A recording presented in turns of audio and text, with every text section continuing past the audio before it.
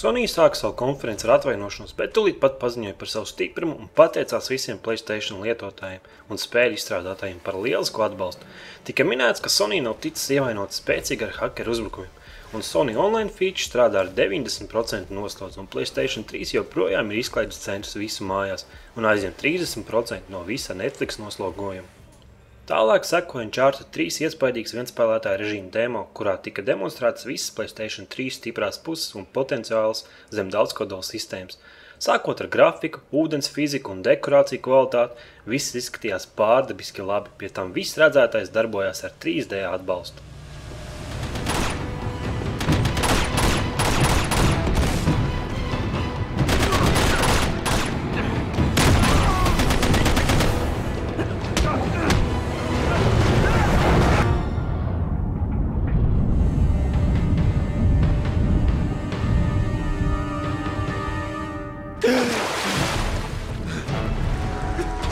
Turpināja ar nemazāk iespaidīgu Resistance 3 gameplay ar MOV un 3D atbalstu, kurā beigās tika apsmāts PlayStation 3 bundles ar spēles un MOV komplektu.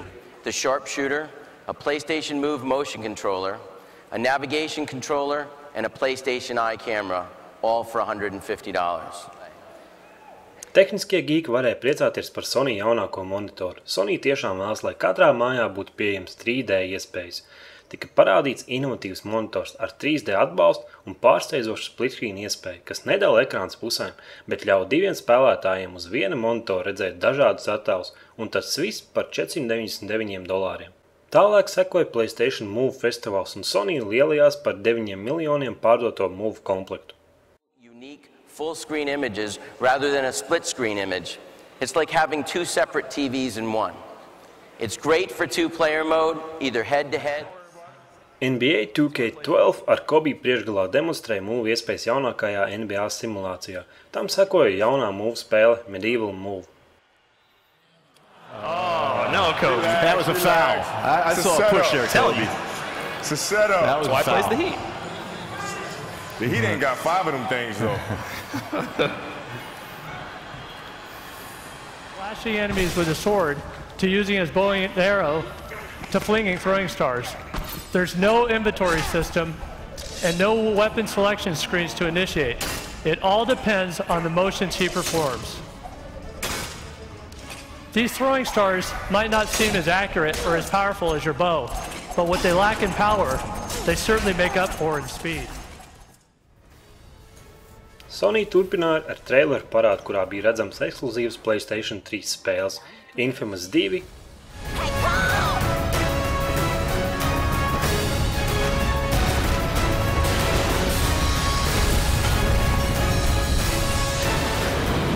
Star Tower. can change in a heartbeat.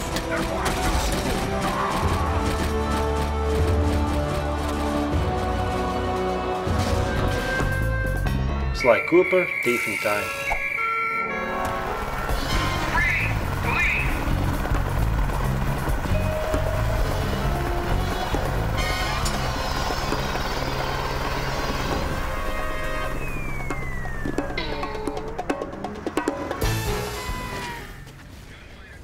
Jaunākais projekts Dust ieguva PlayStation 3 un NGP atbalstu. Spēle ļaus PlayStation 3 lietotājiem savienoties ar PC spēlētājiem un cīnīties ne tikai uz zemes, bet pārcelties cīņā starpgalistiskā līmenī.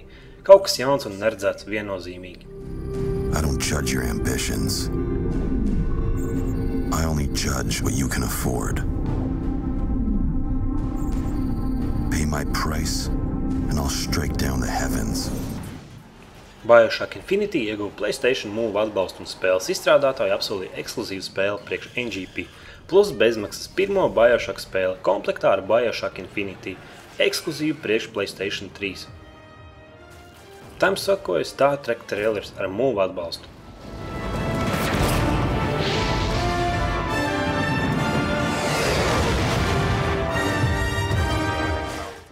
EA Games uz skatuves apsolīja veselu kalnu, jā, kalnu nevis trasi, ekskluzīvus PlayStation 3, jaunākajam snowboard simulātoram SSX.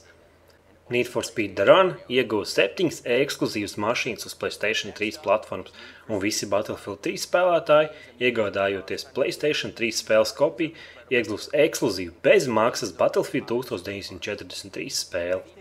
NGP turpmāk sausies kā PlayStation Vita, un tās demonstrācijas laikā tika rādīts visas sportīvās iekārtas iespējas, un pats galvenais – apstiprināta tā cena – 250 dolāri par Wi-Fi versiju un 300 dolāri par 3G versiju. Cena izpelnījās aplausus, jo sākotnēji tika spekulēta 400 dolāru cena un vairāk.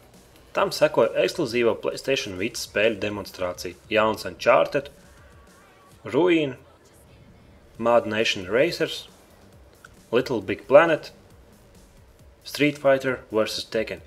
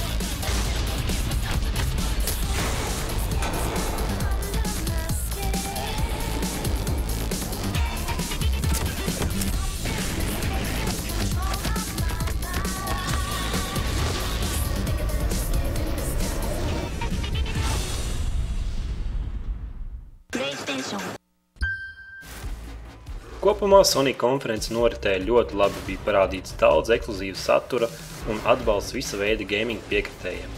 Kaut arī daudz tika pieminēts MOV un PlayStation Vita touchscreen iespējas, nereiz vien tika atgādināts, ka viss šīs iespējas ir tikai opcionāls, un jebkuram, kurš nevēlas tās lietot, būs iespēja pilnībā izbaudīt spēles, lietojot tikai pogas.